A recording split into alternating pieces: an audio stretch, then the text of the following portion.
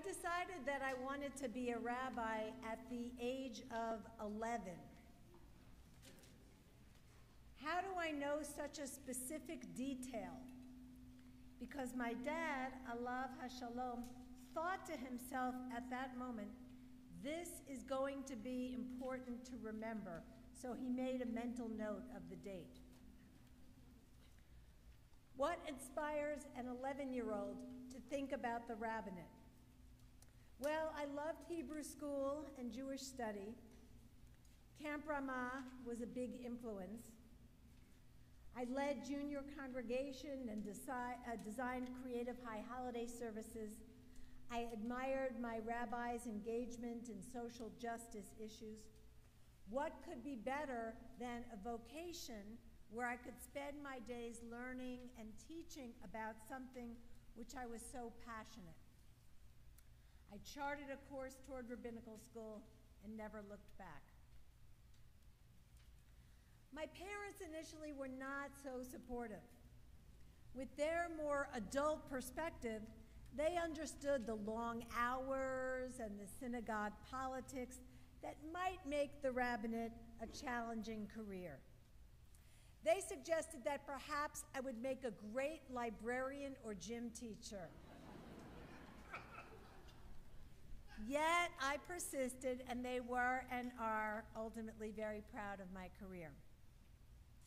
As we enter into this high holiday season, I wanted to share with you the top 10 things that I love most about being Jewish. If you look around this room, you'll see number one, the sense of community. I have a close friend who has served on many boards of directors of various non Jewish organizations as well as synagogues. She marveled at the reserve, the politeness, the professionalism of the non Jewish boards compared with the raucous nature of what she experienced in synagogue boardrooms.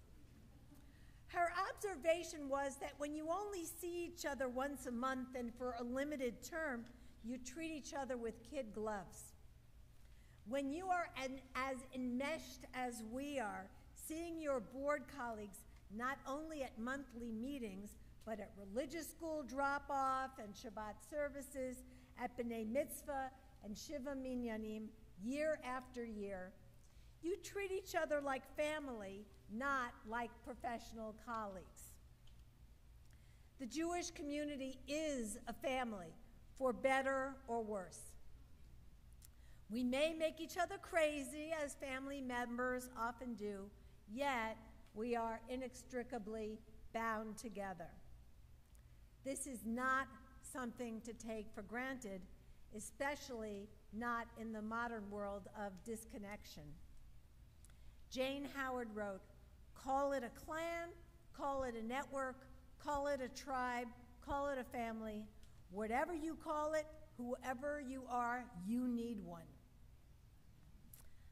I'll let you in on a secret. When I stand at the Ark with our B'nai Mitzvah students and have the opportunity to share just a few moments of private time with our impressionable young people, one of the things that I try to impress on them is this wherever your journey takes you in life, you will always be able to find a Jewish community with whom you will have things in common and on whom you can rely if you need help.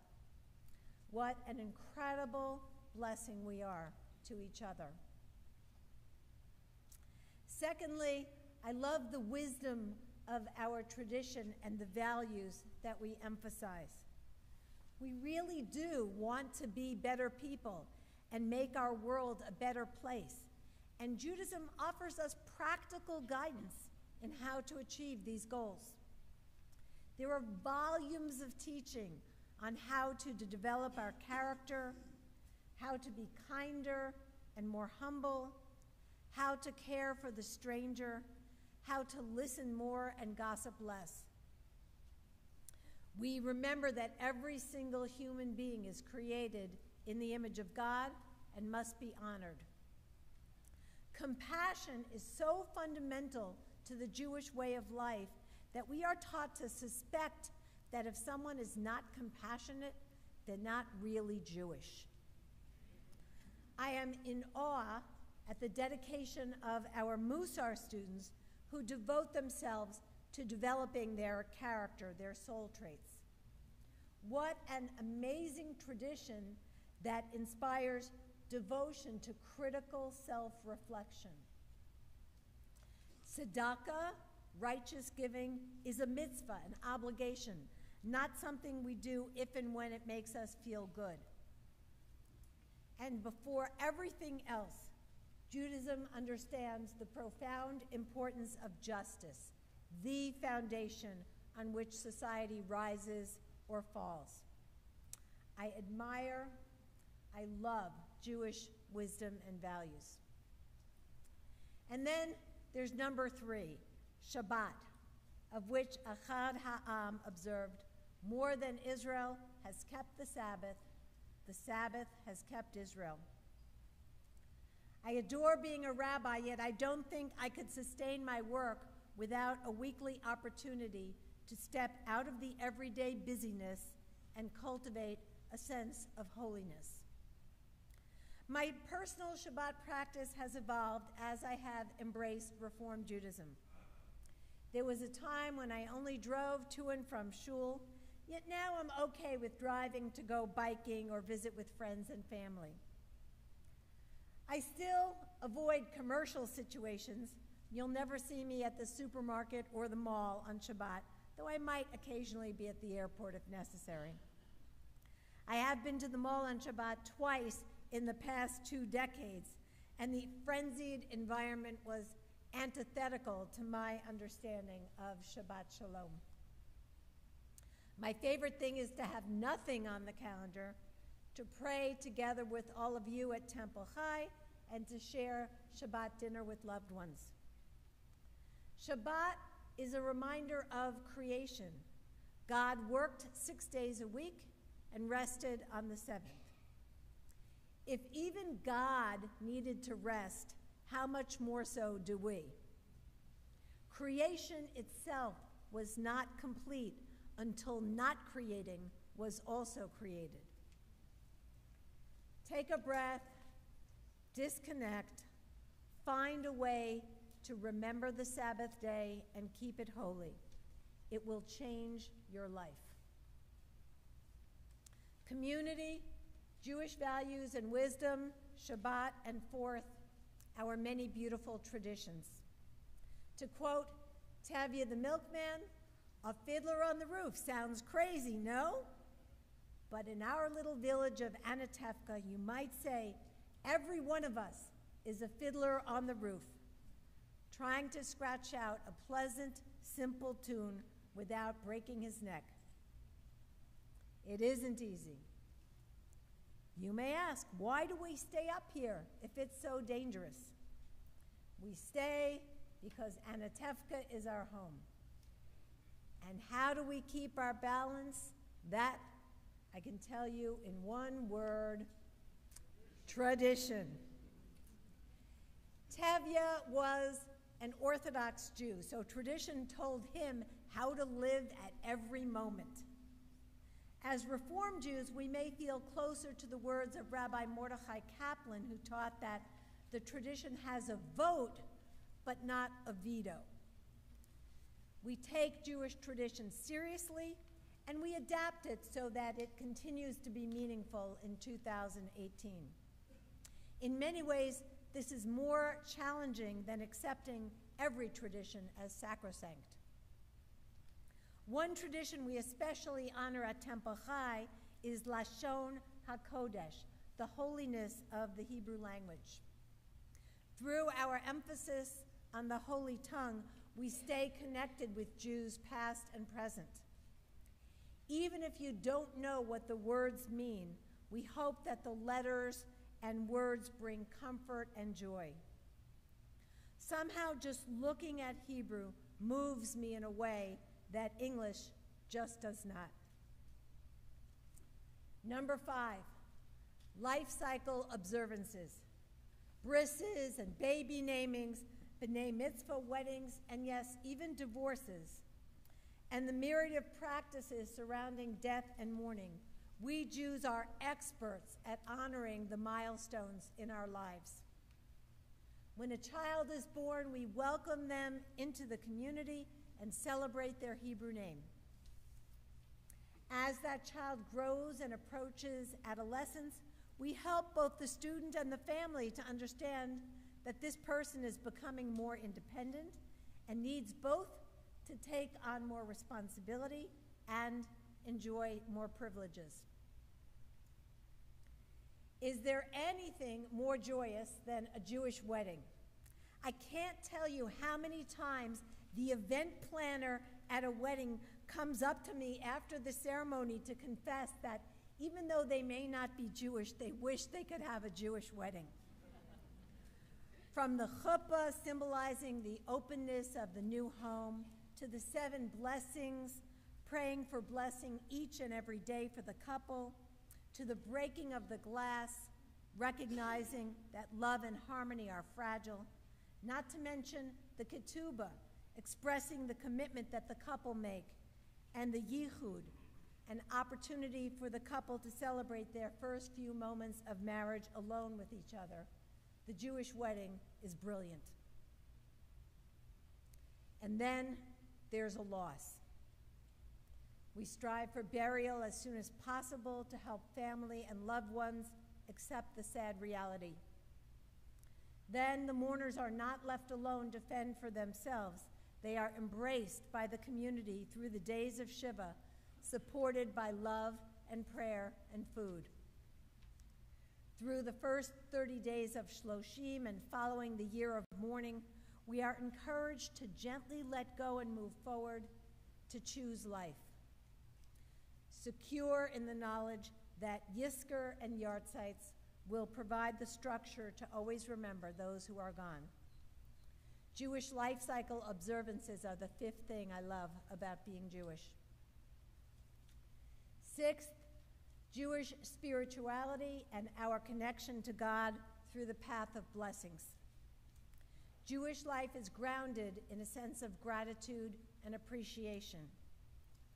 We are so blessed, and yet our tendency is to focus on what we don't have and to forget to appreciate all the good. Judaism encourages us to say 100 blessings a day. Through the spiritual technology of the bracha, we articulate our thanks for waking up in the morning, for the ability to walk such as we have it, for the food we eat, for the clothing we wear, for the beautiful world in which we live, and even for the healthy functioning of our bodies when we go to the bathroom. The word Yehudi, the word for a Jew, comes from the Hebrew root meaning thankful. To be a Jew is to be thankful. Gratitude is the foundation of happiness, and our tradition guides us always in the direction of gratitude.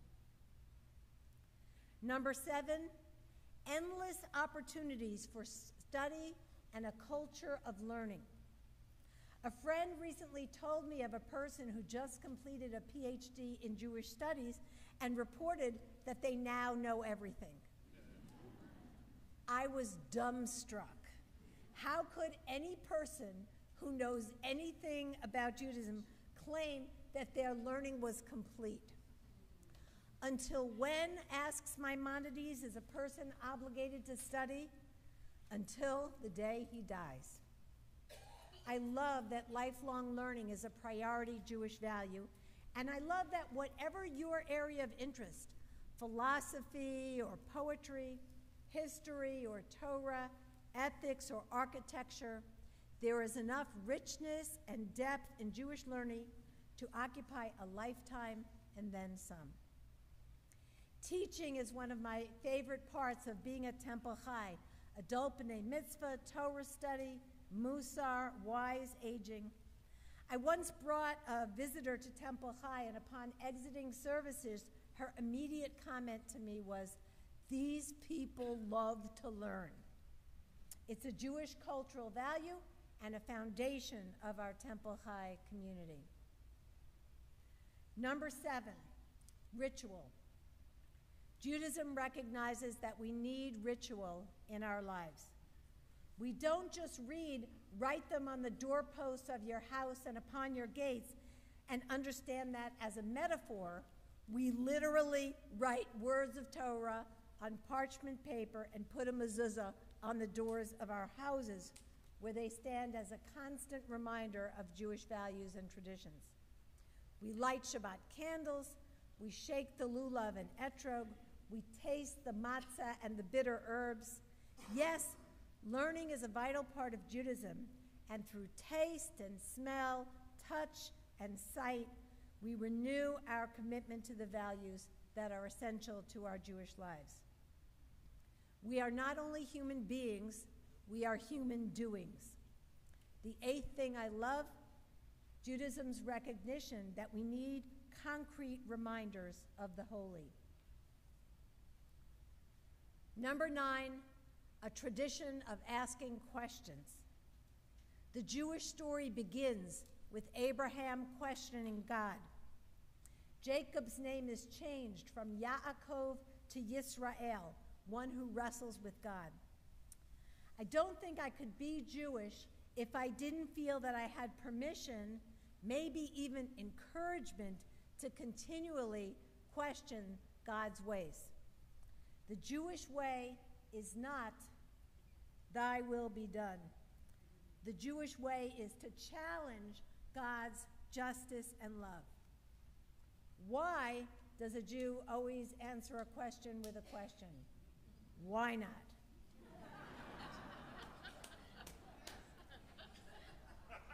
it is always a joy when you approach me with, Rabbi, I have a question. One of my favorite things about being a rabbi. Asking questions is the quintessential Jewish way, and the ninth thing I love about being Jewish. Finally, I love that Judaism is a way of life, encompassing not only what happens in this sanctuary, not only what happens in our classrooms, but how we behave in the world. The Talmud imagines four questions that God will ask us when we are called upon to give an accounting of what we did with our precious lives. All four questions have one thing in common they relate to our behavior in the world.